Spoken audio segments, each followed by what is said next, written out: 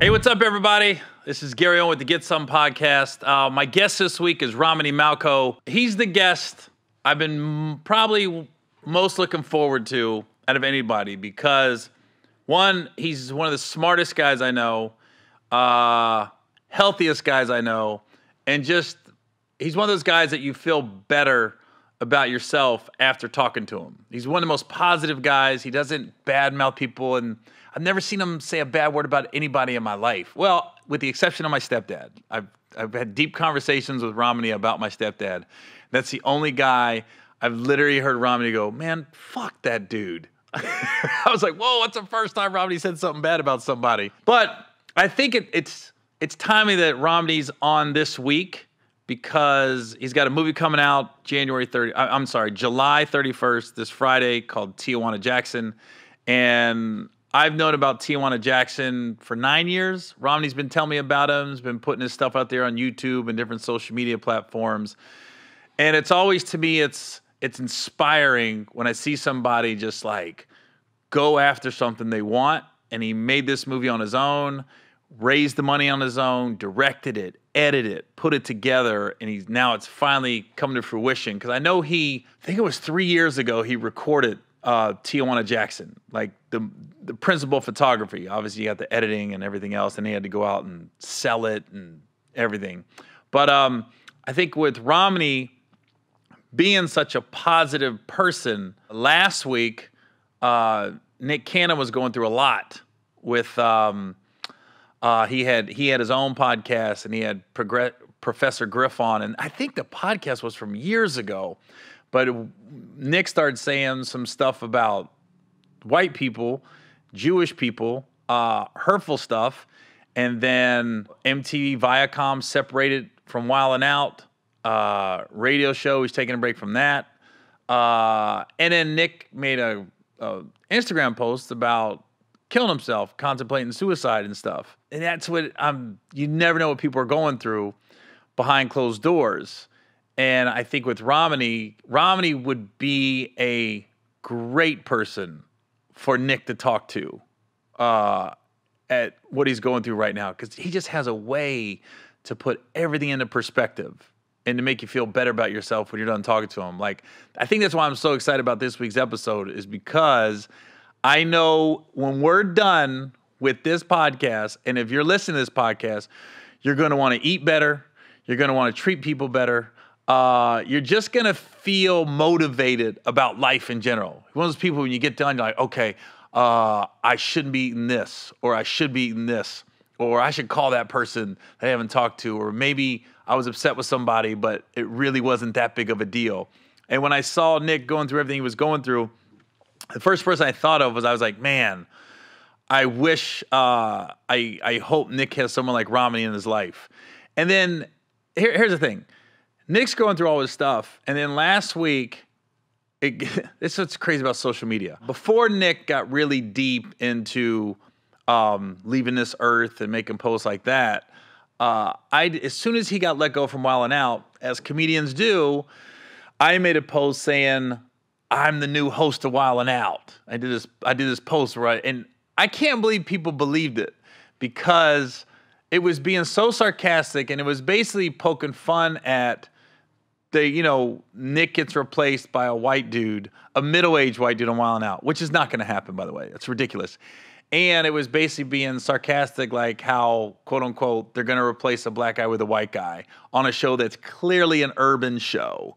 Uh, so I said my guests are going to be like the Spice Girls and NSYNC and Backstreet Boys, oh, not Justin Timberlake because he cost too much money. My first guest is going to be Carrie Underwood.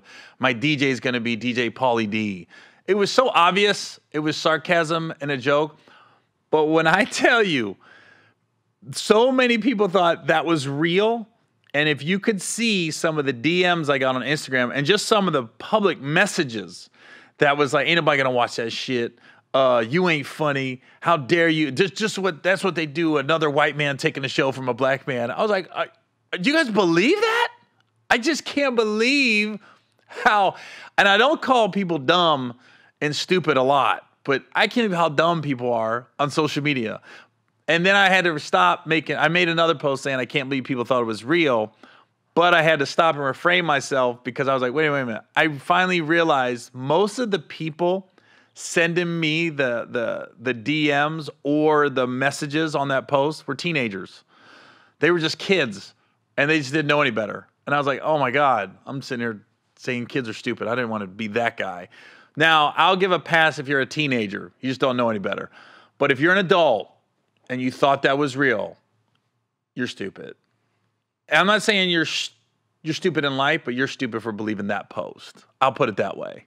I just can't believe something. Then it's funny because a lot of times uh, when people do the whole white black thing with me, white man taking a black guy's job, I'll go to their page and just because I'm I'm bored a lot. It's COVID. You're by yourself a lot, so you look at people's pages, you get bored, and it's just people that are angry about everything. Or or you got to be careful of internet trolls. Also, you got to be careful of that because the one thing I've seen on Facebook more than any other, and I saw it on both sides, and I can't believe people are falling for it. Talk about falling for things on the internet.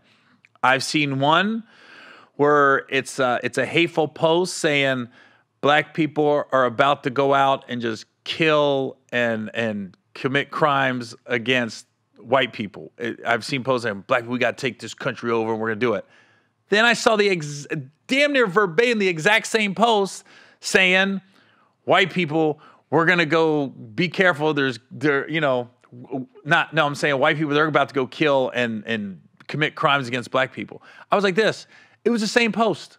It was somebody saying as black people, we got to take this country over and we're going to go handle it and start hurting white people. And then I saw another one and it was like, as white people, we got to defend our country and not let it get taken over. So we're going to go kill and, and hurt black people. I'm like, it's the same post. It's internet trolls playing on people's emotions and people are falling for it. And I'm like, I can't believe people are falling for this. Like, that it's not a real post. It's not, it didn't really go out.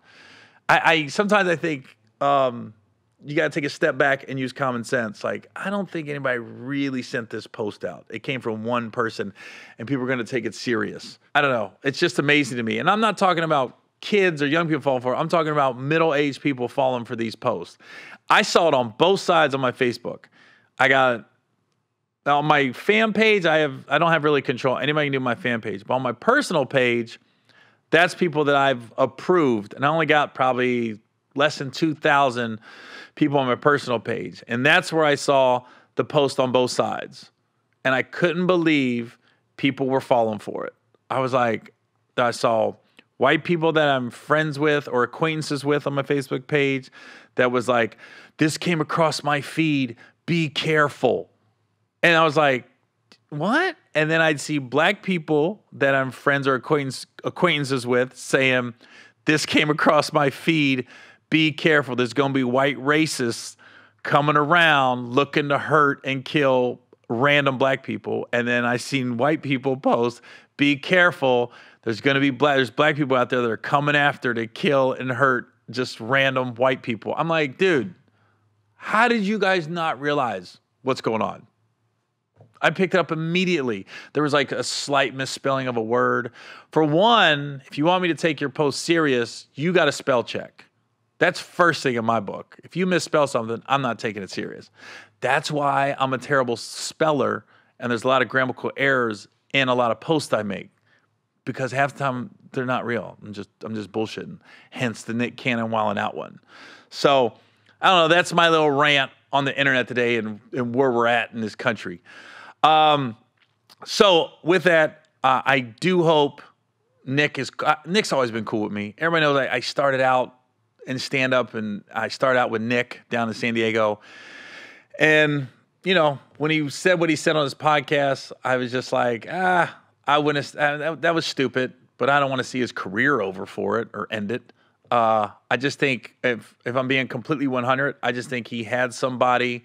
He had Professor Griff on his podcast, and I think he was trying to almost agree with what his guest's saying, and he got caught up in agreeing too much.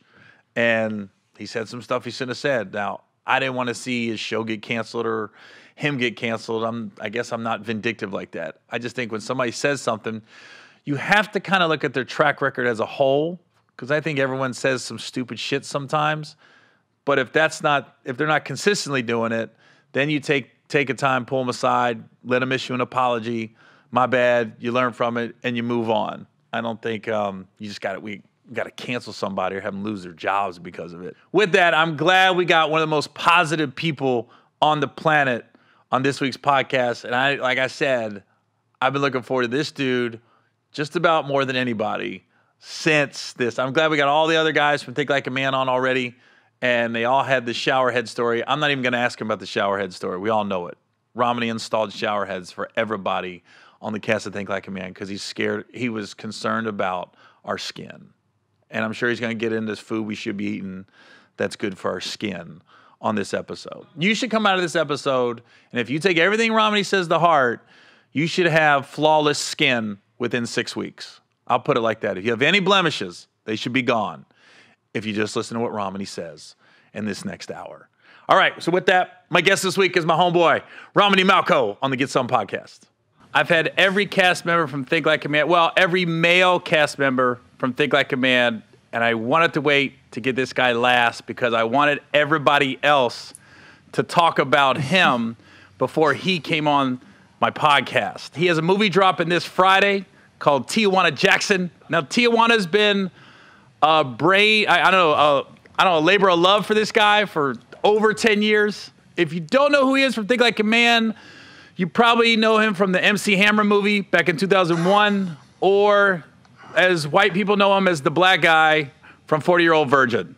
I think I think more people would know him because every time I talk about Romany to my friends, they go, "Who is it?" I go, "The black guy of 40 Year Old Virgin." Oh, and it's like this whole reaction.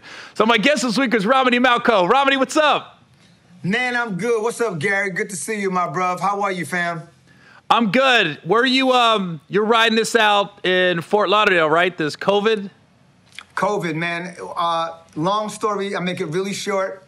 We were in the Maldives enjoying our vacation. Our kids were in Puerto Rico enjoying their vacation. And the goal was for us to meet in Florida. And then this whole COVID 19 thing broke out.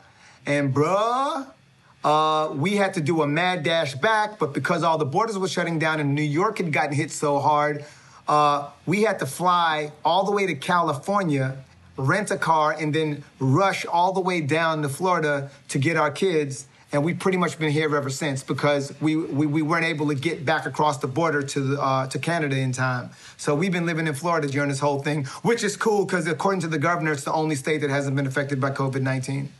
Now, do you have a house in Fort Lauderdale? Uh, you know, not our it's like rental properties. So we we buy rental properties all over the place. And so we have a duplex that was actually under renovations. And so i use one side to set up this studio and we actually live on the other side. And you know oh. it's good because it's got a pool and a yard so the kids are not going crazy. So it kind of pans out and we don't have to leave our house. If we want we can have our groceries delivered that kind of thing. It's not bad now, I when when this whole lockdown happened back in mid March, you're the first person I called because I said, "Okay, Romany, what should I be eating and drinking?" Because I knew you would know more than anybody how to boost your immune system, and you sent me like if it would have been a uh, if it would have been an email, it would have been probably a three page email, but it was in a text of every vitamin every every liquid I should be drinking, taking some shit I never mm-hmm. heard of, chlorophyll mm-hmm. or something like that. like, mm-hmm. and I go, damn right. Because I, I, always tell people, I go, if they redo the Dos Equis man, the most interesting man in the world, it, has got to be you to take his place. If that guy's black, yeah. if they do like, I don't know, Colt 45 takes that, the most interesting man, but it's got to be Romany. Dude, I'll tell you right now, I get asked that question so much that I've actually accumulated that list over time. And what's crazy is it's not like it's a whole bunch of stuff because I really I'm very skeptical about a lot of supplements. I, I I personally believe that food is the best medicine. The right food is the best medicine. It's just that we confuse the definition of food. So what we what, here's what I mean by that is that we're sometimes eating things that actually contain absolutely no nutritional benefit whatsoever, yet it's under the category of food. And so what, what I try to do is I try to make sure that when I ask, when I say, yo, the reason that you should be eating chlorella, and then I give you this extensive breakdown of why chlorella is so important. Not to mention chlorella is the first food on the world, but it's one of the few supplements that I really believe in. Vitamin D3, I really believe in, but there's not a whole lot. Mm-hmm. I always say uh, when I'm asking people, you know, what should I be eating, what I should be eating, it's easier to tell me what I shouldn't eat. So if, any listeners out there are dealing with the COVID right now, I'm asking you, Romany. I'm not. I don't want you to tell people what they should be. Just give us what you should not be putting in your body. Uh, that's a good question. I mean, now look, I'm no health nutritionist or nothing like that. I'm just Shit. telling you how I get down. And like Shit. when you're in a situation where you're forced to sit still for so long and actually deal with stuff and actually be in the face of your kids and your family all day, every day, you don't have all the stimulants that you're used to and the constant going to distract you. It's very easy to start eating comfort foods to supplement the endorphin rushes you'd normally be getting through the activities of your of your everyday routine. And so, in my personal opinion, I would avoid things like, look, drinking more than, you know, eight ounces of, of, of, of, of, any fruit juice in one sitting. Um, I probably only do that if you did that at all. I'd only do it once a day. I wouldn't eat. I wouldn't make eating bread a routine um, because it, you know, the minute you masticate it, it, it converts to sugar. It gives you these endorphin rushes, but then it also kind of like isn't Hold the on. best thing for you to be putting in your body. What's that? What what word did you say? Emaffricate No, you know, the, the, the minute you masticate, um, uh, masticate bread, like the minute you chew it and break it down. Did I use the right word? Damn, you got me. I don't know. I've never heard that now. word before in my life. Let, let, me let me look it up now. Did you say emaffricate No, the minute you Africanize, yeah. The minute you masticate, the minute you masticate yeah, like to grind, to crush. Eat. The minute you masticate it, it con- it converts to sugar. Like chips and breads and shit like that. That shit ain't it's not it's not really food. You know what I mean?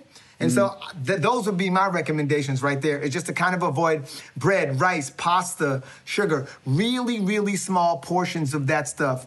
And if you if you think about it, if you're eating food and the food is making you sleepy, you probably didn't really eat food. Because food is supposed to energize. It's not supposed to put your ass into the itis, right? You ain't supposed to have the itis after you eat. Yeah. And so, you know, my whole thing is is that sugar is is such and it, it, people we really underestimate how addictive it is and we really underestimate how much it messes us up how much it ages us there's actually an acronym for sugar because what happens is i know i'm gonna get long-winded forgive me y'all by the way my movie is called tijuana jackson purpose over prison it stars me, Regina Hall, Tami Roman.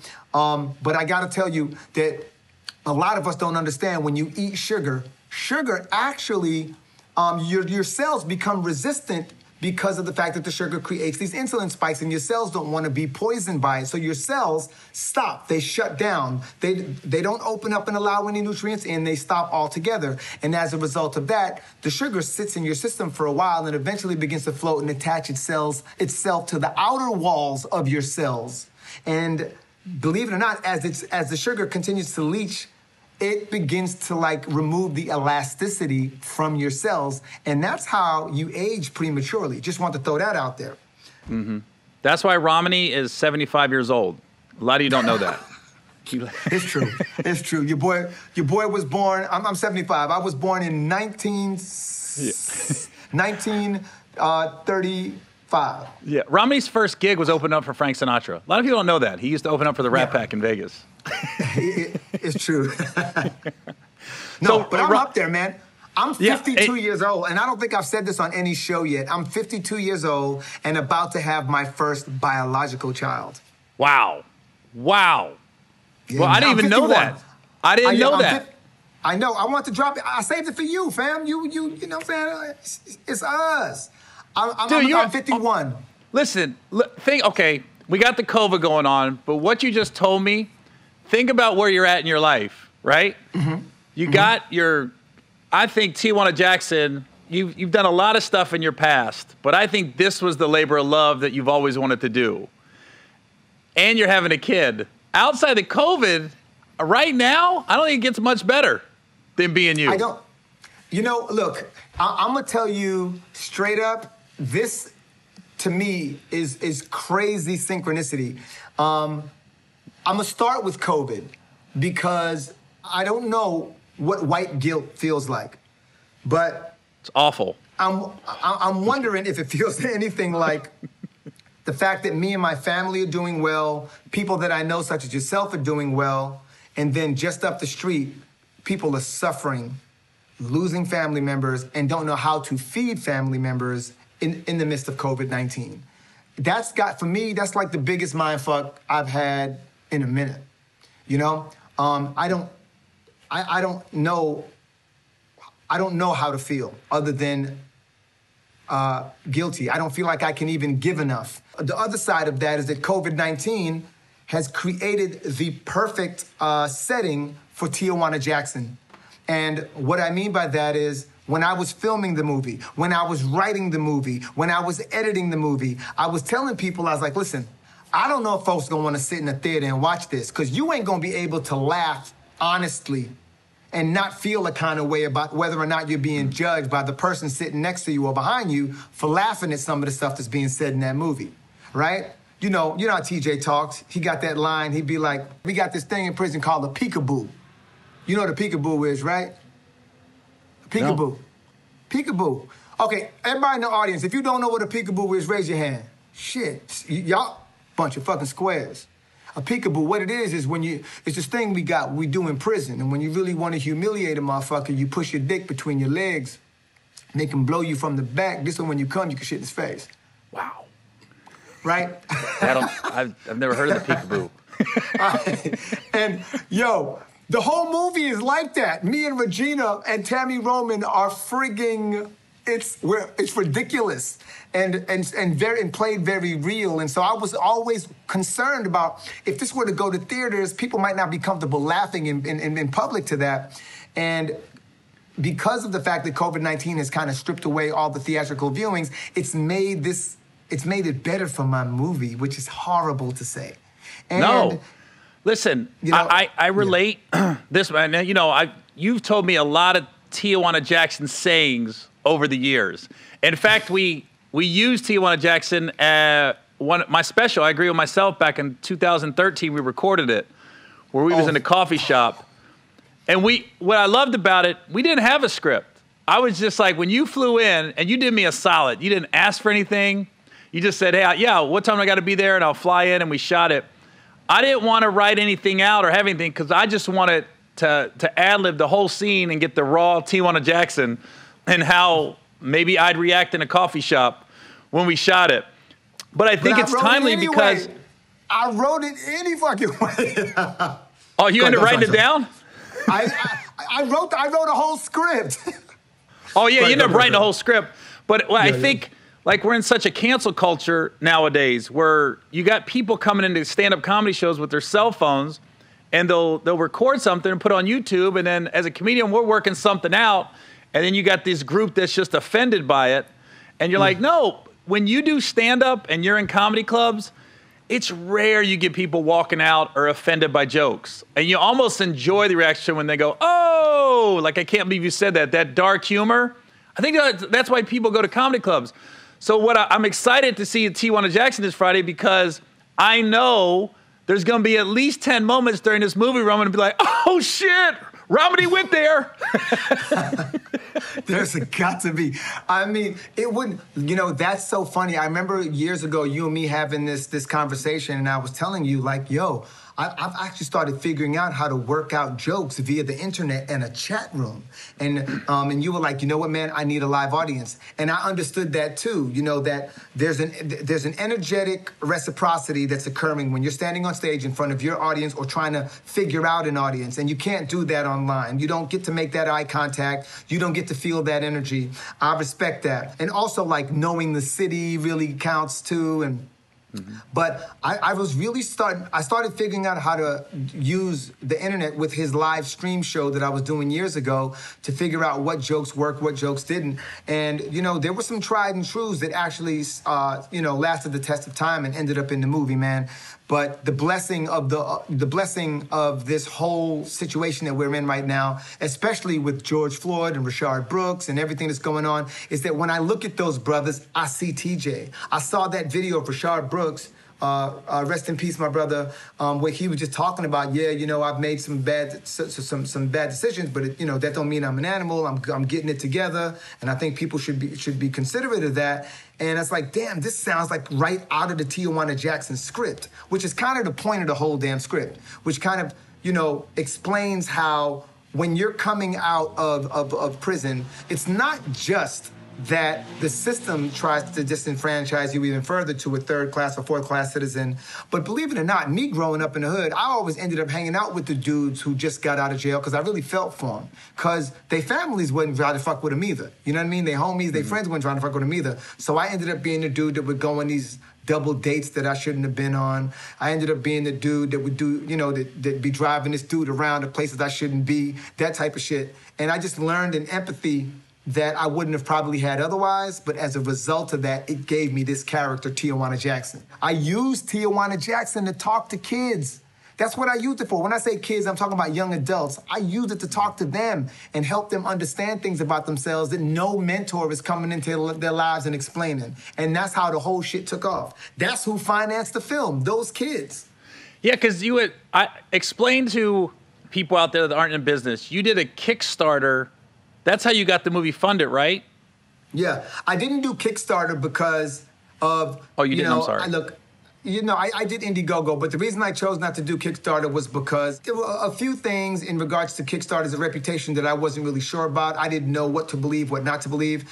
And so just to avoid the possibilities of actually compete, competing with major corporations for dollars, I chose to go on the Indiegogo platform, and um, I did. I, I started a.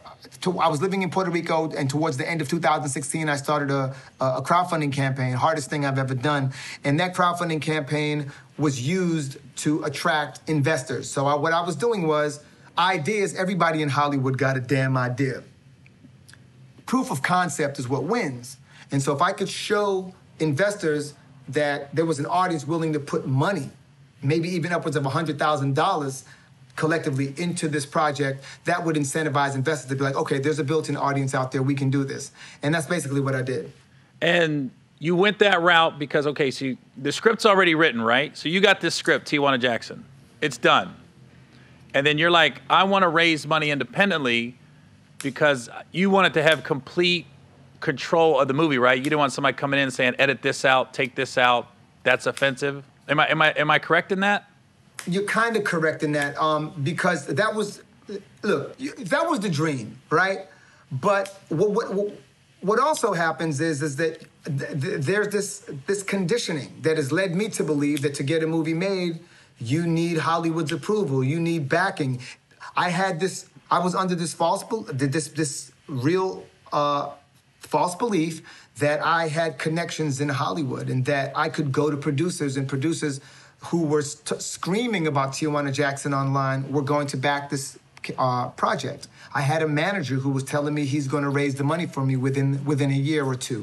I had other producers reading the script telling me how genius it was and like, hey, you need to change things and do this. And I'm like, yeah, well, sh- should we be checking into the financing? And the long and the short of it is, is that uh, none of that stuff panned out. A lot of it was just wolf tickets. In fact, all of it was wolf tickets. And so while living in Puerto Rico, um, I just had this revelation where I was like, all you really need to make a movie is money. And you can hire a crew. And so the first thing that came to mind was to run this crowdfunding campaign. My manager uh, tried to discourage me from doing it. And here's what he said He said, I don't know if it's a good look for you, man. I don't think it's a good look. I said, why not? He goes, well, you're an established actor and an established actor asking fans for money. I just don't think it's, I, I just don't think it's a good look. I don't think, and I had to stop him. I was like, whoa, hold up now. What, wait, you think I'm an established actor? Well, shouldn't an established actor be able to raise a little bit of money to make a movie? The average movie in Hollywood is made, the average comedy in Hollywood is made for 10 to 20 million dollars. I'm like, you telling me that we couldn't raise 400,000 and I'm an established actor? I was like, I don't know. if you mean black established, what kind of established you mean, but established has not translated in the, in the ways that I needed to. So as a result of that, I, I, I got to do what I got to do. That was the beginning of me being like, I'm really going to do this my way. I'm not going to answer to anyone. And I and all listen, I'm telling you right now. Listen, I love Eddie Murphy, and this is not a diss to Eddie Murphy. Um, I love so many, so many comedians have influenced me growing up. But there's a transition that usually occurs where they kind of start off becoming famous because of these uh, uh, these opinions that they have. It's not a matter of whether they're right or wrong, but it's how committed they are to these opinions and their delivery and the conviction in which they tell these things. And then they become a bit more educated, and then they eventually, uh, or, or, or, or, insightful and more conscious, and their audience begins to expand. And then as, as their audience expands and the, the, the deals start coming in, they begin to homogenize themselves, right?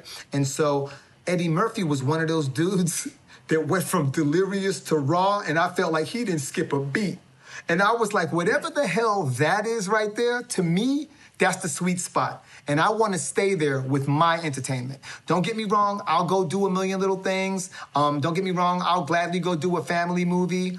But if I'm writing and directing and producing, I want to be in that sweet spot. I want to be yeah. in that Eddie Murphy sweet spot. And so th- that was the beginning of me saying, I'm making, I'm gonna start doing things and I'm gonna start doing them this way a lot.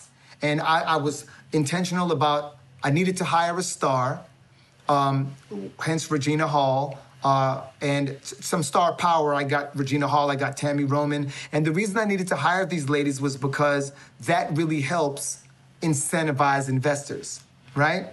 Mm-hmm. And when you have that caliber of talent, uh, myself, Regina Hall, Tami Roman, and the budget that I was pitching that I would make the movie at, which was under four hundred thousand uh, dollars, is kind of a no-brainer that the the possibilities of recouping are fairly, you know, certain, and that that's all investors and angel investors and, and, and hedge fund managers want to do is mitigate risk. So I started the crowdfunding campaign, but not before telling investors that I was starting the crowdfunding campaign right? And then uh, I had their attention while I was uh, raising the money. And as the crowdfunding campaign began to grow, I kept looking to my investors like, yeah, it's kind of, yep, we, we, hit 30% mark in four days. Damn, ooh, it's gonna be a hot one. And ended up, and you never ask for what you want. If you want a hundred thousand, ask for fifty thousand. If you want fifty thousand, ask for twenty-five thousand. And the reason is because a successful crowdfunding campaign uh, usually is funded between 200 and 1,000% of asking. So anyway, I, am a little long-winded, but no, um, I, yeah, that, I completely expected that this uh, podcast. I told, I told when I had Jerry on, I had Ely on, and Terrence on. I all said, uh, "Boy, when Romany comes on, I might need a three-hour pocket." Because when he gets going, I just fall back and listen. Because you always say yeah. you don't want to be the smartest guy in the room. And I go, with Romany, if Romany's in the room, I always know I'm not. So I'm good with him in the room. Let's stop, dude. Yo, so let me um, let, let me ask you, when you say you got Regina and Tami Roman, so you had them commit to the movie before you had funding? No. So I had them commit to the movie um, like I had Regina commit to the movie before funding was complete. I got Tami Roman afterwards. But you start with a certain budget, right? And so I think my budget when I first started was like about $200,000, maybe even $180,000. And then um, with that, I was able to start the party. So my manager, who, who was discouraging me from it, when, the, when he saw me actually raising the money, he said, you know what? This is a lesson for me. And you know what, Romany? I think you're right. Sometimes you got to start the party. His words. I use this quote all the time now. Sometimes you got to start the party, put on the music, start the party, pour your own drink, and then send out the invitations. And that's basically what happened. So now I had Regina Hall uh, saying that she was willing to do a movie if I could get the funding. Um, and I had $180,000, and I actually was casting. And that process attracted more investors. But by the time we had gotten to that point, I had one investor who was pretty much 100% in and like actually rounding up the number that I was asking for. Almost like he couldn't believe I could make a movie for that much. And um, and then I had like four investors waiting in line. So I packaged it with with, with, with Miss Hall and then started the party, put on the music, and by putting on the music, I then was able to acquire additional talent, recognizable talent, and then that uh, confirmed or, or, or solidified my additional investors. So was the well it's obviously not going to be in theaters now and you said earlier you're glad it's not. Isn't, yeah yeah. It is it is in some theaters. It is in some theaters. Was was that when you were shooting it was you thinking i hope i hope it gets to theaters or netflix or what was in a perfect world when without the covid where did you want it to be like distributed at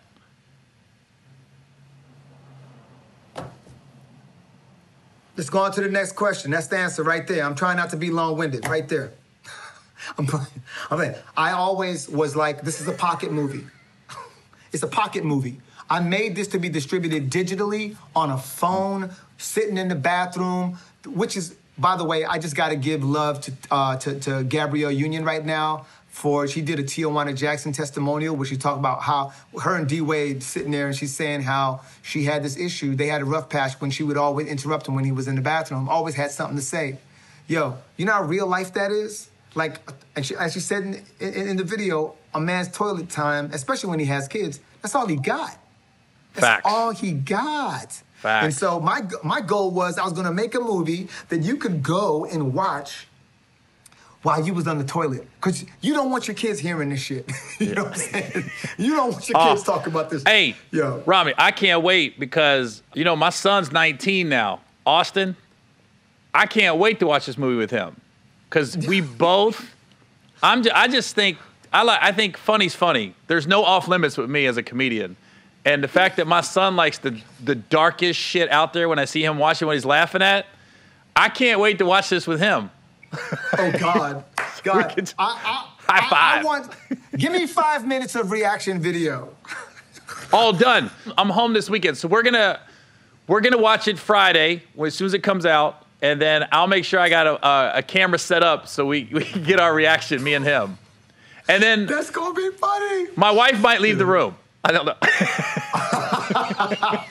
Yo, but let her know it's all love. Let her know Yeah. it's all love. Now, okay, so you, uh, what's crazy is like when I met you on, when we really got to know each other on Think Like a Man, I didn't realize how much like we had in common. Like we're both ex-military, both, I, I mean, you had a life way before entertainment. You had a full, I mean, I, I'm sorry, before acting. You were in a rap group, had a hit song. How many hit songs do you have? One or two? I, I'm like, a, I'm like, a, I think I'm a two-hit wonder, but I really call myself a one-hit wonder because only one song really went to number one. So Remind me people what that song wonder. was. Uh, victim of the ghetto, college boys, victim of the ghetto. I'm, I'm, not, I'm not saying it like I'm proud of it. Don't, don't, don't, don't YouTube the shit. But listen, if you see, uh, wasn't it first Think Like a Man? We put a picture of your rap group on the wall in Terrence's room. Remember? And I they was so tired, I could not control my laughter. Yes, and then they splice like the producers and directors' heads in. they put James and Will. Yeah, James Lopez and Will Packer. Didn't they have Tim in there too? Yeah. the director Tim Story. So if you go listen, if you guys watch Think Like a Man, go back and watch it, and then pause it when we all are in Terrence J's room and we're confronting him about everything. And that's where Kevin walked in and said, "Miss Loretta for the rest of the tour." At some point, the camera pans by the wall, and you see Romany's rap group, and they splice the producers and directors' heads into the rap group. And we didn't tell Romany at all we was going to do it. And Dude. then, um, and then you were in the Marines too, right? I was in Marines. I was in Marine Corps. What years were you in the Marines? 87 to 91. Yep. And and had such a similar situation to you in which I was like, yo, I have a chance to get a record deal in California. And I was stationed in Texas as a reserve. And they were like, yo, we go, we got a base uh, off of off of Stadium Way in California. We're gonna send you there. We shared that base with the Air Force. Went to that base, was there for maybe a year, and then told them uh, my record deal was solidified and I'm about to go on tour. And they were like, well, you know, you do have an obligation. I was like, yeah, but I got to go on tour. And they, they were like, okay. So the military actually supported me, at, you know, in, in, in, in, in, in my, uh, in my hip hop career. Did you see yourself being a lifer before, before the record deal in the Marines? No, no, no, no. I, I, I look, um, there's this period where, you know, the United States, man, they just got you thinking that you got to be in college. Otherwise, you, you're going nowhere fast in, in the world. I never really bought into that, but I honestly didn't feel secure enough uh, in my dreams to be, you know, in hip hop and to be in entertainment to just go balls to the wall. So the military was kind of like, really, it was filling the gap between the ages of 18 and 20, uh, 22 to figure out what I was really going to do with my life. That's where we, and, when we talked, we were right on the same page because yeah. um, when I joined the Navy, it was pretty much my thinking was I didn't know where I wanted to go. I just know where I didn't want to be. Right. So the military was a way for me to just be like, okay, I can get a fresh start in a new city. I don't care where it's mm-hmm. at on this earth, but I could just I could get a. If, and then I was like, I'll figure it out when I'm in. The, I know that sounds odd, but you're just kind of. I think a lot of guys like that. They join the military yeah. just to figure out what they want to do with their lives.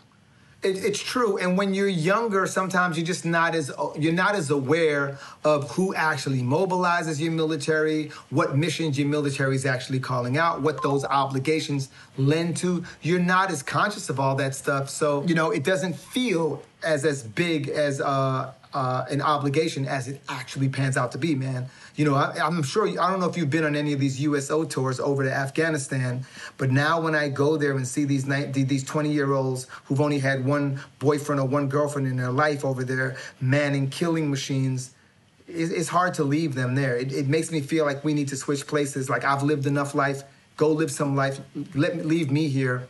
It's, it's hard to leave. And so I, guess I look at it differently now, but at the time it made all the sense in the world. And the truth is, our military recruiters were incredibly seductive back in the day. They know how to alert, they knew how to lure my dumbass in and get me to sign up, you know, uh, blindly. Let me let me tell you, uh, my military recruiting story was my military recruiter in the Navy who got me. You know, saw saw saw an easy fish and threw that line out there and reeled me in. But I went back probably three, four years later. Uh, I don't know if the Marines had this. We, we would go work for the recruiting station for two weeks in our hometown, but it didn't count against our leave, our vacation time. Did you have that in the Marines? Oh, no. Didn't have that. Oh, so we had that where you could go back for two weeks, work for your recruiter, so you're still working, but you're back in your hometown, and it doesn't count against your. I think we had two weeks of leave a year. We were able to go home for two weeks. But my recruiter walks in to get his like W 2 and his tax papers, his forms. And he walks in. I go, What's up, man? Now I'm like three years in the Navy. What's going on? He goes, Hey, what's up? I go, What's up? Are you, are you still in? He goes, Nah, I got tired of this shit. I went, What the, what the fuck? I was like, Motherfucker, you recruited me. nah, man, I got tired of this shit. And he just looked bad. He looked yeah. bad. He he was eating everything you said not to eat, Romany. He just yeah, looked yeah. like he had a sugar sandwich on Dude. with white rice. Man, I swear to you, I had a sergeant who should have easily been at that time in his life a gunny sergeant at least. And we did a camp. We went to Camp Orillia, which is in Oregon. We did like two weeks out there. We were doing all these drills and um, sleeping in the woods and hiking and whatnot. And this dude got discharged because he attacked. They were playing a prank on him. It was raining really bad, and it was raining so bad we ended up all having to sleep in a cafeteria. If you if you left the cafeteria, there's like a little gift shop down a hill, but you'd have to go in the rain, and he'd go down that hill, and he'd go get in these cookies, and he'd bring the cookies back, and then he'd want to take off his boots and everything and dry off. And while he was doing that, somebody stole his cookies. This dude threw a fit who stole my damn cookies, went back down the hill to get more of that sugar, because you know it's addictive as hell. Comes back up and somebody steals the next pack of cookies that he bought, yo, and he threw a, a fit and ended up being discharged. But he looks the way you describe your recruiter. like, yo, like he had just had one too many bar visits, you know what I'm saying? Yeah. One too many, one too many cookies, and just miserable miserable. Yeah. And here's the thing, man. I've met some really brilliant people in the military, but I've also met some people that are, well, well, you know. That's all I well, I, you know, I remember sitting in the middle of the Pacific Ocean one night with like four. I, I used to love working nights because nobody bothered you at night. Right, Whether right. I was on shore duty or on a ship, I loved working nights. There was like four or five of us guys were sitting around. It's called mid rats. So that's what your that's your dinner at three in the morning, and it's basically the leftovers from the dinner, you know, in the cafeteria on the ship and uh, mm-hmm. the galley. And then uh, we're all sitting around. Somebody goes, "Hey, what would you do if you had a million dollars?" And every guy walk around, you know, I I tell the Navy, "Fuck off," and I do this, I do this. And I literally looked at all the guys and I go, "I'm gonna make a million dollars." and they looked at me like, man, Owen, shut up. I go, no, no, I'm to be a comedian. I'm to make a million dollars. And I was dead set. And like three of the guys laughed at me, but one guy, and I remember his name, it was Wittke, W I T T K E. He goes, I can see that, Owen. You're funny. I'll never forget the one guy looked at me and was like, I can see that. But the other three guys was like, it was like a million dollars was so far out of their yeah. thinking. But you also got to realize I didn't realize till I watched uh, that documentary Fahrenheit 9/11 that yeah. a lot of the the enlisted military are the bottom, like the bottom of the bottom when it comes to how they were raised. It's yeah. it's the ghetto, it's the trailer parks, it's those people with no money. They enlist because they feel like that's their only outlet. It's, so it's their, their thinking is they'll never make a million dollars. And I remember thinking, oh no, I'm, I'm going to make a million dollars as a stand-up. Right. You know that that's mad funny. I was battle rapping in the military so much that there was a guy. Um, we, we I don't remember his his full name because we you know we called each other by our last names. His his last name was King. This dude would go to other barracks and be like, "Yo, I got this cat over at my barracks that'll smash all y'all. Every last he'll kill he'll kill any one of y'all on the mic." Now, Back then we would say MC, and this dude would instigate battles I'd be waking up at two o'clock in the morning. Dudes have come over from their barracks to battle me. Like, what the what the hell is going on? And so I kind of had like the opposite effect, where everybody in my barracks knew that I was going to be in show business, probably yeah. more than me. Yeah, man. Well, I had, you know, I had a lot of support from a lot of my military buddies because when I first started mm-hmm. out in mm-hmm. San Diego, they were the ones supporting me, and it's it's crazy because you being in the Marines, me being in the Navy, you always got those guys like you go to the you go to the gym and there'd be guys like 360 dunking and throwing it down. You're like, how is this guy in the military? Why is he not a, at a D1 college right now? Or you go to a you go to the weight room and you see guys just putting up like 500 pounds. You're like, why is he not in a strongman contest? Or yeah. you meet guys like, if I was to see yourself, I'd be like, yo, how is this guy not have a record deal? And I think mm-hmm. so by us telling what we just told, I think there's a lot of guys out there that just joined the military because there's no other outlet. They're like, I don't know what to do. I'll figure it out. I remember yeah. being on some of those base basketball teams like, what? We got a D1 team here. Yo, man, man, I know dudes that boxed in the military. That, Box, that yeah. Really, really should have been. Cha- you know, I'm gonna just say, like, man, we. I, I feel like we grew up fairly similar, right? In the sense that, like, we've lived in trailer parks and whatnot, but I don't feel at the same time that we were like uh, poor. You know what I'm saying? I don't consider it poor. Like I've seen poor. I've seen third world poor. I've seen third world poor in the United States of America.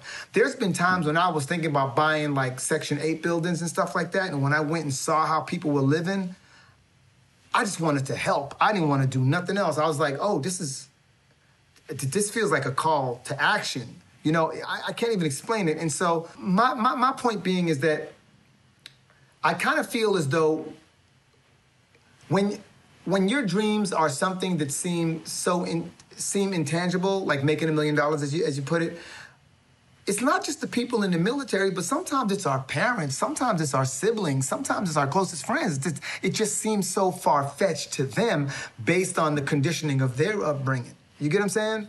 And so, yeah. my blessing, which is very odd, especially being the son of immigrants, the first American born in my family.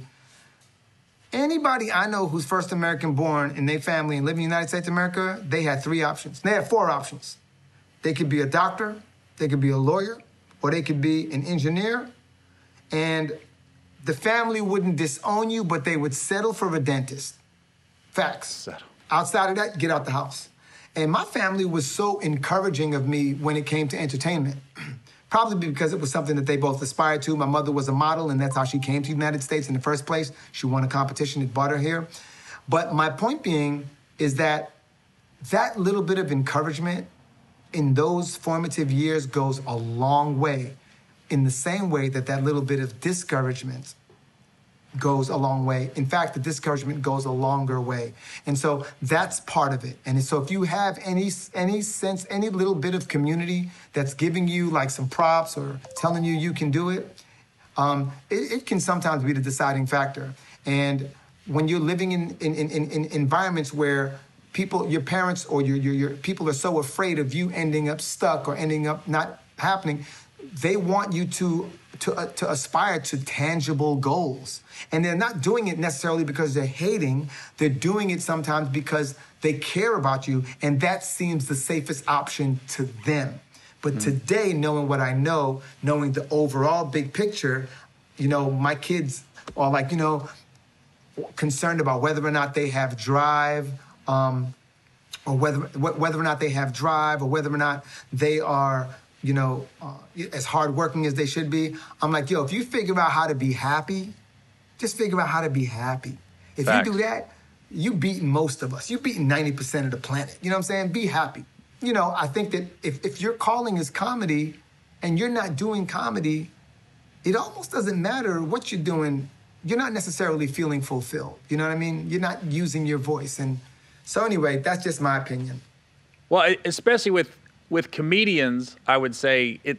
You know, the the politically correct answer is it's it's family, then faith, then stand up. And I I my wife knows this. I go, I'm a terrible husband. I'm a terrible father. I'm a miserable human being if it wasn't for stand up. I mean, like I know that's not you're not supposed to say first, but stand up has always been that's that's that's my first love from jump. Yeah. I'm, I'm yeah. nothing without. And the fact that you was talking about encouragement and discouragement and how you're conditioned, how you're growing up. Now you, we've had deep conversations. I don't want to get into that about my dysfunctional family. Some uh, of my favorite conversations is about your stepdad, bro. I hope he ain't listening right now, but oh, he will. Dude, he listens to everything. I guarantee it. yo, bro, I hey, I'm not even kidding, yo. I fucked up a rib listening to this shit. I fucked up a rib recalling the shit and laughing about it. Like you said, you don't want to get into it. My favorite shit. When you be telling them stories, day 39 of quarantine, yeah. and you break out, yo, he he steals the show every time, fam. There's nothing well, like it. I be- I've been begging, just everybody who's watching, I've been begging this dude to do a whole stand up about his stepdad. But I understand you got to honor family. You don't no, want to offend anyone. Not anymore. nah, they. Oh, no. I haven't talked. I haven't talked to my mom in over four years, and my stepdad the same. Uh, I don't want to get too dark, but you know, ever since my brother passed away, everything kind of really fell to shit after that. Um, the family really fell apart. But um, growing up with my mom, I'll never forget. She said something to me, and I said, "I don't want to live like that." Was I said I, one day I just was saw her. I said, "Hey, mom, how's it going?" And she goes, "You know, just living paycheck to paycheck like everyone else." And I was like, "I don't, I don't want to live like that." But that's her surroundings. That's everybody she's around is living paycheck to paycheck. And I remember thinking, I do not want to live like that. I do not want to have friends that are just like, um, not, I got friends that live like that, but I want to be like, that's our mentality, is we're living paycheck to paycheck. How did you know you had a choice? I was lucky. I don't have that upbringing where it's like um, my dysfunction and my negativity was at home. But I chose the right friends that I grew up with. I chose the right crowd to roll with in high school. Uh, and I saw two parent homes and I saw people that were happy and I saw people that was like, how's your day going?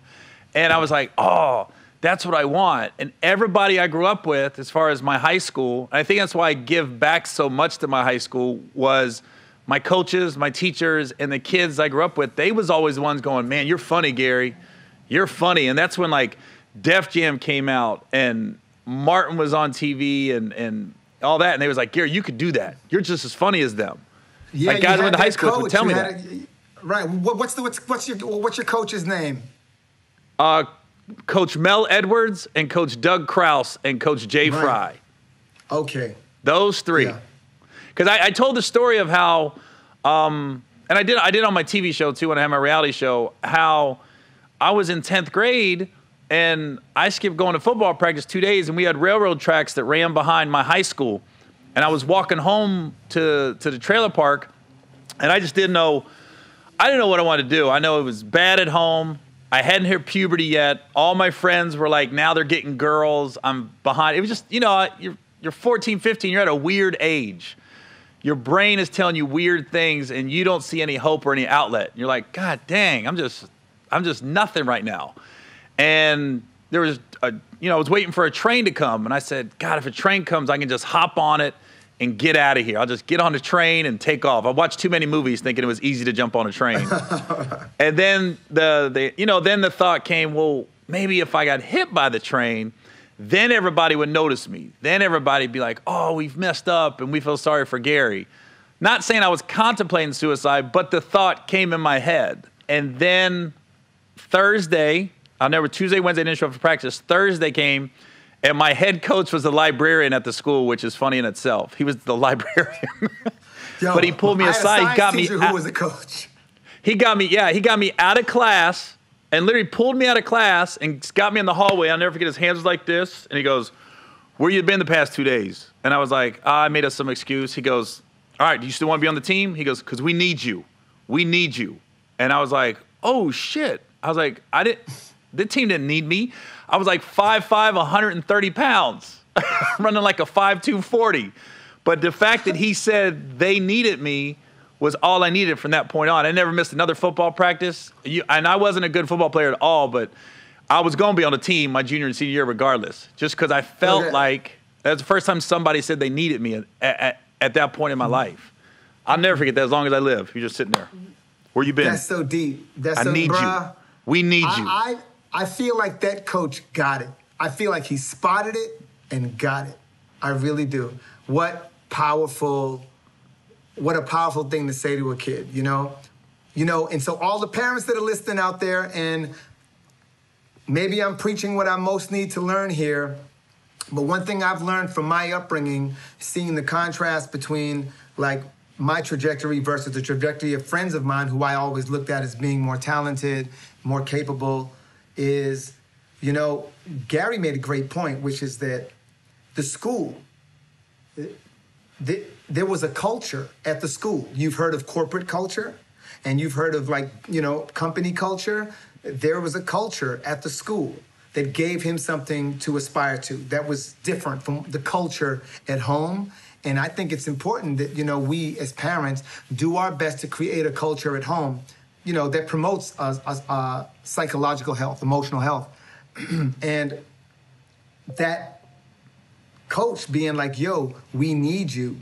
You know something? It's like right now talking to you, it's making me realize that I need to make my kids feel more needed. And we, you know, we love on our kids and maybe even to a degree spoil our kids, but I don't know if we make them feel needed as if like, you know, you are a significant team member that we rely on and appreciate when you show up.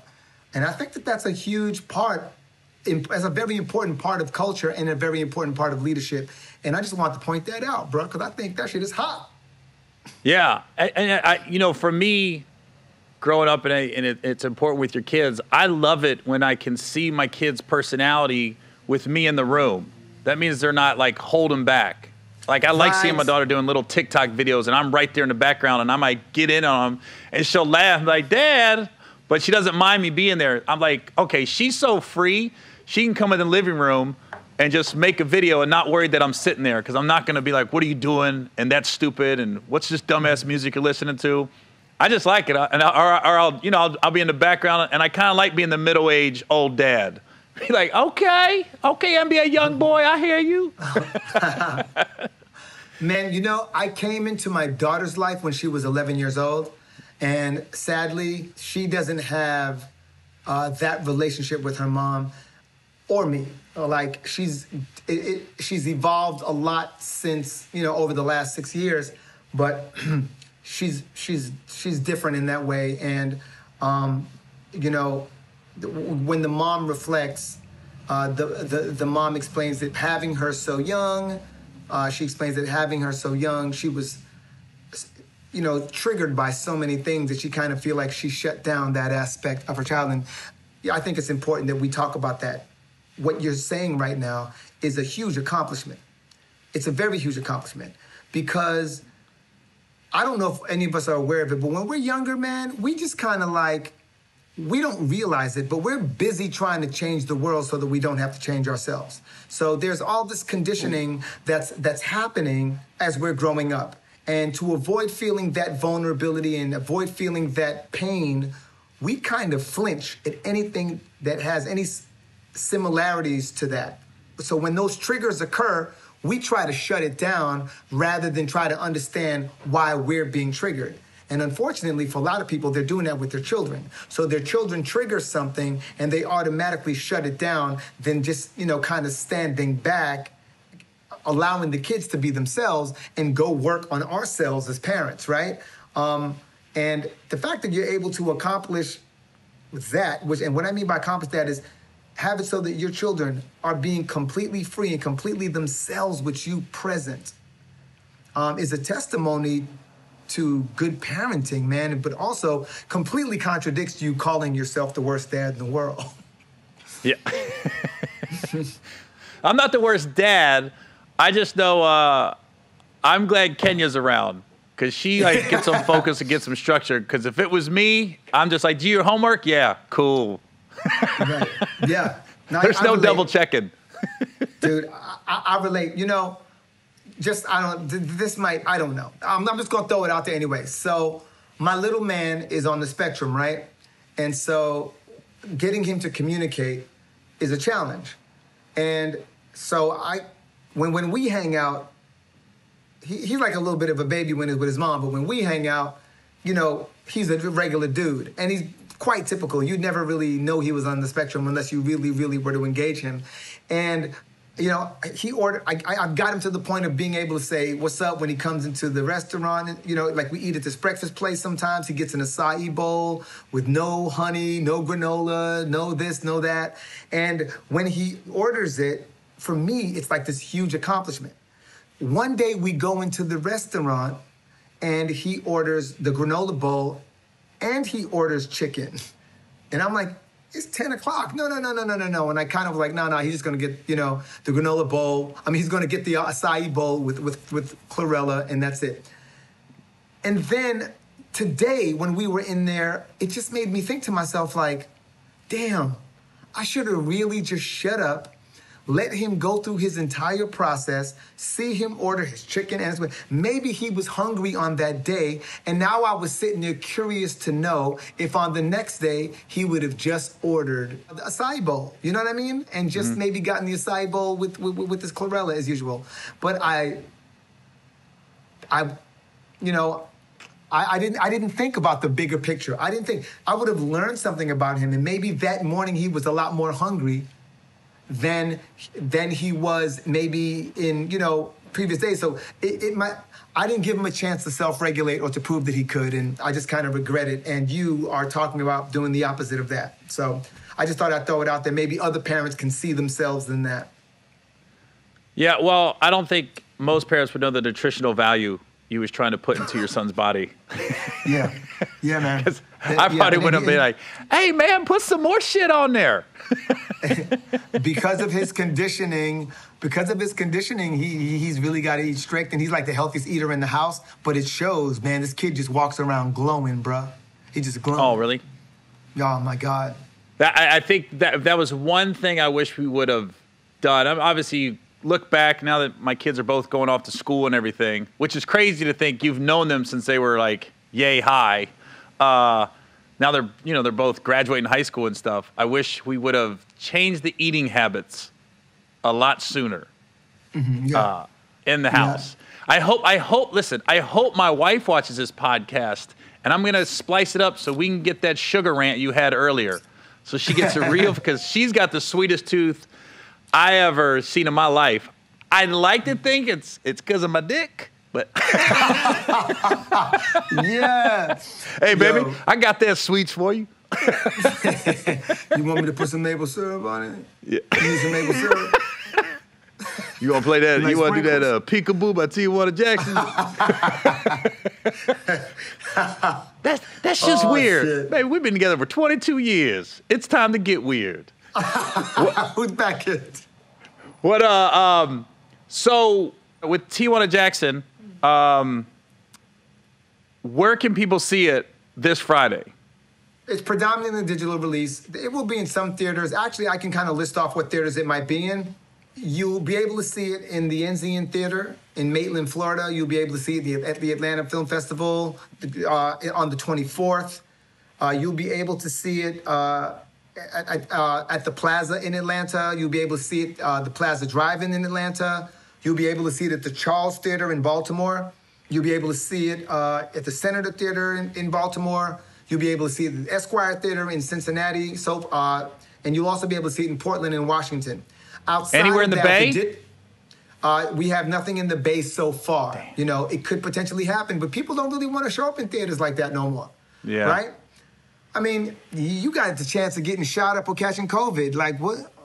What's wrong with sitting at home? So, Right. at home, VOD, iTunes, Apple Store, Google Play, Vudu, Fandango Now, Amazon, all those platforms will be carrying it. Not like Netflix because Netflix is a subscription deal. I, Yeah. I, I'm, actually trying to. I'm actually trying to be the owner of my content, and so my content is for sale. You can buy or rent my content, and I will eventually license it. But the first phase is just like anything else. It comes out in the theaters first. It just so happens during COVID nineteen, the theaters are is, is more of a digital release. The, the, the, the equivalent to a theater release would be theatrical release would be a digital release. So Yeah. yeah, you you know iTunes, uh, Apple TV, VOD. I'm, I'm repeating myself. Never mind. But yeah. Well, look, those- I'm any of those gonna. I'm gonna make sure I download it Friday with my son. I'm gonna tape it so you can see our honest reaction. I'm glad I haven't. I've tried to refrain from watching any clips. I know you've been posting them on the internet, on Instagram and stuff, but I'm not trying to watch them because I want to. I want. I just want to see it in its entirety. I don't want any expectations because uh, it's funny. Like I feel like I've been waiting for this for ten years. No, you know what? You yeah, I think it's been that long. And let me tell you something. I know about Gary. I know that's a fact. I know what he's saying is really his truth. This brother don't look at other comedians. He don't check out other comedians. He Oh, I wanna don't. Be I don't watch anybody. Ideas. He don't see nobody. So I know that there's some truth to what that brother's saying. So with that being said, I really just want to know if you and your son sat together genuinely, Uh, and honestly enjoyed it, and were y'all really high fiving through it, and you know you run a little reaction video, dude. I'd love that. I would love Yeah. it. In fact, I'm, I, I might go online and request everybody to do a reaction video. Well, I- I'm, you know what? I'm gonna one up it. I'm gonna have all I, I, my neighborhood I live in now, up in Northern California. A lot of white people in the neighborhood, middle aged, but they all like that dark shit. Because when we're in the backyard smoking cigars, I don't know if I'm allowed. Am I allowed to smoke cigars, Romany? Is that okay? Yeah, hey man, look, dude, hey man, people think that I'm like this. Listen, I'm not Mr. Health. I do, I do everything. I'm gonna tell you, I'm gonna tell you what I think my saving grace is. And I know we're trying not to get too deep. I'm trying to go there with you. It's not my nature, but tell you what I know. I swear to God, nothing has done more harm to my body than cortisol. Stress. Stress has fucked me up. Stress has paralyzed me. Stress has aged me. Stress has turned me gray. And so, like, the way I look at it is that I can induce stress in a lot of ways. And sometimes I can induce stress just by eating a lot of the wrong shit. You know what I'm saying? Hmm. And so, to me, the key is like portion control. I can't, like, if I see a bunch of food on my plate, you know, my lady's she, she she's St. Lucian and Puerto Rican, and the culture you just pile food on a plate. If I see that dude, I get nauseated. Especially after living in Europe for a while, because they eat much smaller portions. Spending a lot of time in Japan, same thing. They eat much smaller portions and keep it moving. For me, bro, it's like don't get me wrong. I want to eat. I just want to eat something quality. I just don't want to eat a whole bunch of it. With the right portions, you can almost do anything. But the key is to not stress yourself out. Whether you're putting so much sugar in your body that you're getting these insulin spikes that's stressing your cells out, or to just be, you know, uh, harboring so much shit that you're constantly stressing yourself out because you're constantly producing all these stress hormones that stop your digestive system and tear you down. I know we ain't supposed to be going here. I'm really trying my best, bro. No, I wanted. That's why I was. That's why I wanted you on. I want because listen, okay. with podcasts, you got a lot of truckers. You got a lot of people listening to this in their cars, and I okay. want them to steer away from getting off that that fast food joint. yeah. Yes. Yeah. You, you know, know, what I mean? And, and that's yeah, like here, here's a simple practice that a lot of people don't think of. You know, I grew up with a dad who drove trucks. My dad drove taxis and all that shit. Here's a simple thing that you could do. When you get that sandwich, take one side of that bread and throw that shit away. Facts. Or give it to someone who else is hungry. Give it to someone else. Just the bread. Just give it to someone else and just eat half. You're already right. doing yourself a, a, good service. And then also understand that sometimes we get addicted. What, what we associate with satiation is sometimes it's overindulgence. So people will eat until they feel stuffed and stuck on Thanksgiving. Some people do that shit every day, right? Yeah. But but you really you're really compromising your digestive system when you do that. And so the way that I like to think about it is I like to think of myself as putting things in my body and then giving them time to leave my body before putting more stuff in my body. And one practice that works dope, I love doing this, and I've been doing this forever because I probably like off and on for like 20 years. And a friend of mine from the Slovak Republic turned me onto it. And she was like, I give my, my I give my body 15 hours between meals. And I was How like, many hours? 15, she said. And I was like, what? I don't understand. She goes, Is that every meal? meal? So what she'll do is she'll wait 15 hours from her last meal before eating again. Okay, got it. So so those 15 hours she may have slept for seven of them. I don't know. She, whatever, she gets a window. To, they call it intermittent fasting, but she was talking about this 20 years ago and they wasn't calling it that back then, or she didn't call it that back then. And she is the, she is the pillar of health. And so I would just say, you know, if, if, if, we can get into the if we can get into the practice of simply understanding that portion control in itself is going to reduce stress on our bodies, reduce the stress that we put on our liver, reduce the stress we put on our pancreas, reduce the stress we put on our gallbladder, reduce the stress that we put on our colon and our small intestine. If we just understand that alone, we are already ahead of the game. And the other part of it is, especially when you drive in, the drivers, man, let me tell you something. I can't stand having to stop and pee every 30 minutes. But hydration is one of the most magical things you can do for yourself next to exercise, right? And there are times when I'm not doing either enough, and it really shows. I really, really feel it. And so, if you're stuffing yourself or you're eating these things that are difficult to digest, and then you're not hydrating yourself, I can promise you that a lot of that midsection ain't even yours. That's just mm. shit.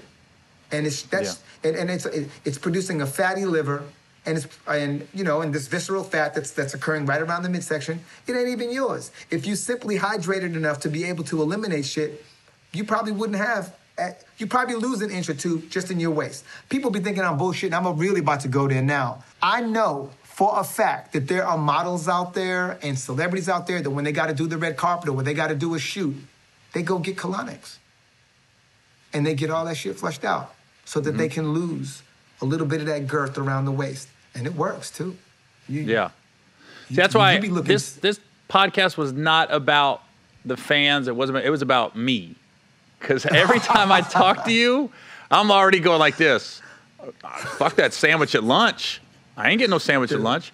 I mean, Rami, you're the reason I'm gluten free. The way you explained it to me at, at Hugo's Cafe on Santa Monica, we was wrapping up Think Like a Man one and when you was talking about you put your hand up here, and I'm literally looking at your hand like this, you go, Gary, your intestines have tentacles, and those tentacles move like this.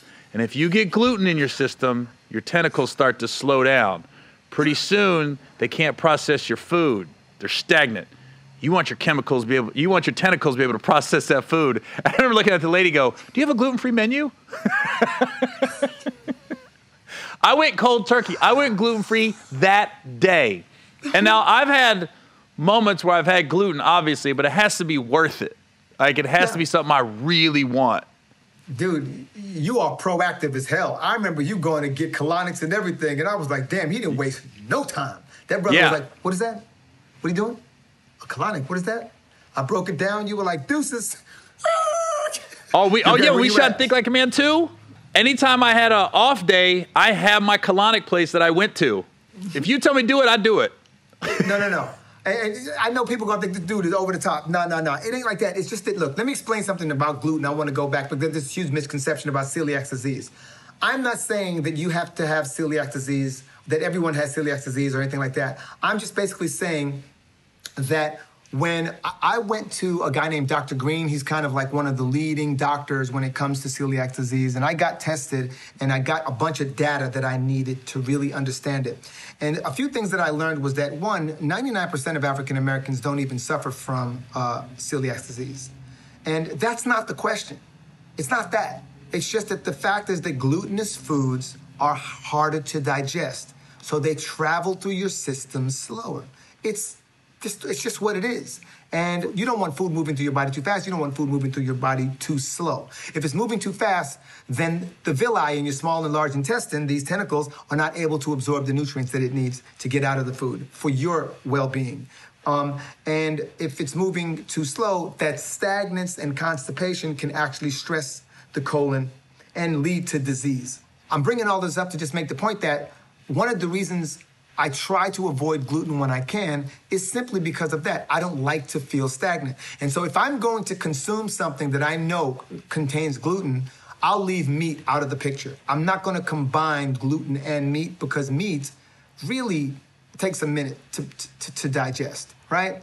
And so I have vegan days, I have vegetarian days, and, and then I have days where I will actually eat meat. But if you want to learn anything about what is the best ways to uh, to, to maintaining decent health, um, look up the blue zone people. These articles, these studies that were done on people who are able, who are able to live 100 plus years healthily, right? And here's the thing: you look in America to say the average life in America is what 84 years old or whatever it is. 81 years old, maybe. I don't know what it is. But you have to remember here in America, what we are considering life is being dependent on pills, a fistful of pills every day. We're dependent on pharmaceuticals. A lot of us, a lot of our population, what we're calling living is pharmaceuticals and barely being able to, to you know, to be mobile. That's not life. I'm talking about, don't get me wrong, it's always good to be alive, but what I'm actually talking about is uh, living a vibrant life in your older years. You've got to look into the blue zone people. And it Blue explains to you, people. they, the blue zone people, you know, they drink. They, uh, they uh, some of them smoke. Some of they eat meat, but uh, they also are very active. Uh, they live in low stress environments. They have a tendency to moderate the meat that they eat, so that they might eat meat once or twice a week, kind of thing. And so they eat small portions. There's all these different things that go into it, and it's like a, it's, it's like you're talking about blue zone people who are all over the world, yet they all share this in common.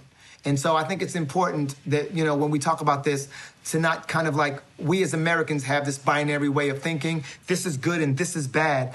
If we learned how to honor the nuance, if we learned how to honor, uh, you know, the variables within all of this, all of us would be a hell of a lot healthier. And we probably wouldn't go for a two-party system political, uh, a two-party political system either.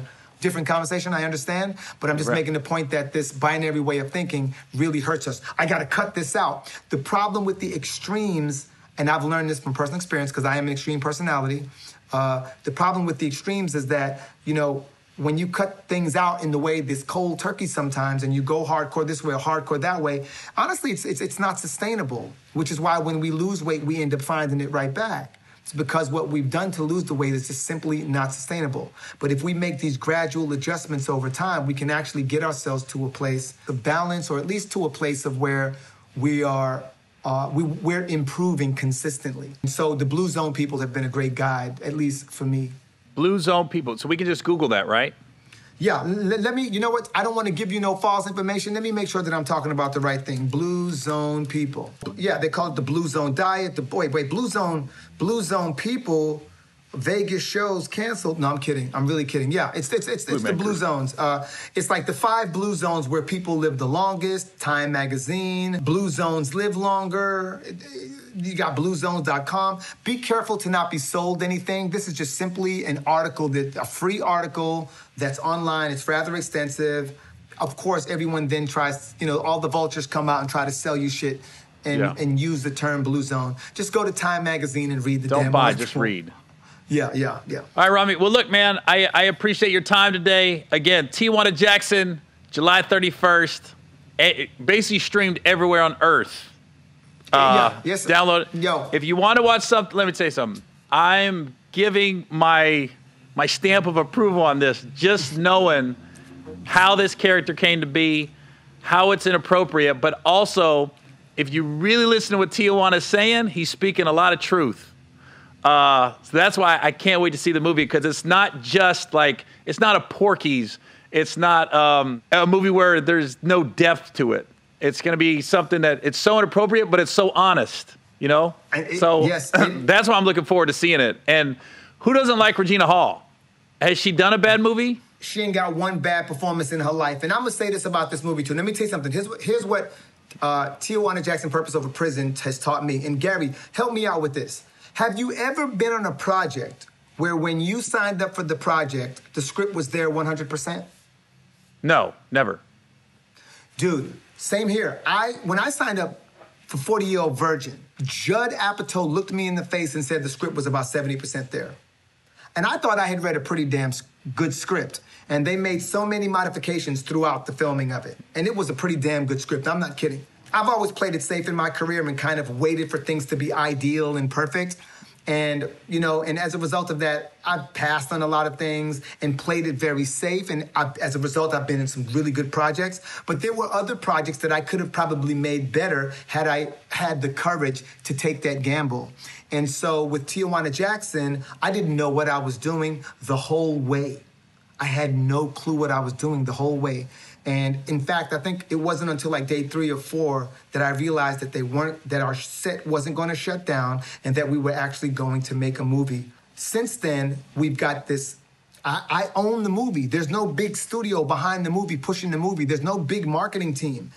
Mm. And I've got three different PR companies working on this right now. Seven people, three of which are working pro bono. Like president, that they've worked, they've been they've been deputy, they've been deputy uh, communicators for, for, for, for, for presidential candidates, uh, well versed in politics and, and, and marketing.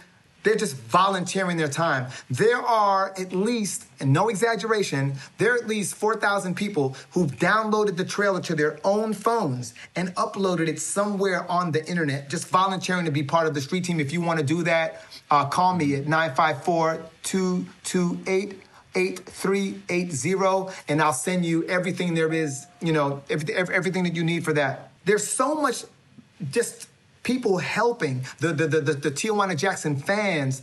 It's like I had no clue how any of this was going to come together. Then suddenly I had fans paying for the movie. Then suddenly I had investors wanting to help finance the movie. Then suddenly I had talent involved in the movie that I never thought I could get. And then the next thing you know, we were 18 days into a shoot. The next thing you know, I'm editing a movie. The next thing you know, we're winning shit at festivals. And the next thing you know, we're sitting here talking to you, my dude, about. Uh, I got friggin' Michael Ealy. Speaking of Michael Ealy, I don't know if anybody gives a better backhanded compliment than Michael Ealy. I don't. Let me think about this. Who? Michael Ealy. He, you know, he got a he got a wicked streak. You know that. You, oh, you ain't brother- lying. That brother, he be his sense of humor coming on such the sly, but he did a testimonial for Tijuana Jackson. You will take him seriously, and then when you're done, you'll be like, something about that was off. That Yeah. dude gives the best backhanded compliments. Um, the whole Think Like a Man cast, just in case y'all don't know this, we all reach out to each other when we have projects and we ask one another to help promote it. I haven't Yeah. even reached out yet, and folks have been posting my shit, sharing my trailers, making testimonial videos. All I can tell you is we we met a good group when we did that movie, bruh. And I think I never seen anything like it. I- yeah, me neither. And I think I gravitated to you in the way that I did because of how much we actually have in common in our upbringings. You know. Yeah. I ask this of all my guests. Is there one actor or um, director that you haven't worked with yet that you want to? Or who's, you know, any dream like actor you want to work with? I, I can't really say that there's an actor or an actress that I would like to work with that I haven't worked with because I, I feel as though when I come together with somebody on screen to do something, we create something new. You get what I'm saying? Most of the actors and actresses that I know, I only know through their work. And so when I see them do something, I look at it as if that was a creation based on the chemistry and the culture uh, of that particular set. So it's hard for me to be like, yeah, I wish I could work with this person, I wish I could work with this person, but Okay, so we'll just we'll just say Todd Bridges. Let's just go with that. oh my god! But there, you know, there, there- there's just there's just a lot of dope people out there. I feel like McQueen might be a good dude to work with, you know, because the director, Yeah, yeah. Ealy said the same thing. That was Ealy's choice. Was Ealy Smith? Yeah, yeah, I could see Ealy saying that. Like, I, I feel like he's got this awareness and sensitivity. Like, the, his his emotional tele- intelligence just seems to be heightened. I feel like he would make me see things in a character that I wouldn't be able to find on my own. Oh, for those of you that aren't familiar, there's a black director called Steve McQueen. just so everybody knows. Yeah. right, right, right. My bad. I should, Talented I, I as all should out. that. Twelve Years a Slave. Steve McQueen. Um, Yeah. Would you know would be the director of Twelve Years a Slave, and he just he he gets the nuance. He gets the the variables within. He gets the gray. And um, to me, that you know, the Tijuana Jackson movie, my character just stays in the gray. He just stays there. He don't never move out of wait. the gray. Right. Look, I'm gonna I'm gonna get a bowl full of chlorella- chlorella and and greens and have no chips, no bread, uh, no sugar, and I'm gonna have the healthiest movie snacks while I watch Tijuana Jackson. I can't watch Oh, that and out. eat gluten and sugar. Are you crazy? Hold up, hold up, hold up, hold up. Talk to me really quick. Do you like popcorn? Yeah, I love popcorn. I'm about to send you some popcorn with spirulina on it, and it tastes good as hell. Oh, you know, I had that one time. Uh, LeBron had the smoothie shop down in Miami. So it was really Savannah's, his wife, and they Yeah. had popcorn with spirina on it. I, I know I mispronounced that. That shit was so good. So please send me some of that. Oh, I'm about to send you. Oh, you you you about to get that? This it's a black-owned company. This like I'm talking about. This girl might be 17, 18 years old, and she's oh, making. Oh, for this- real?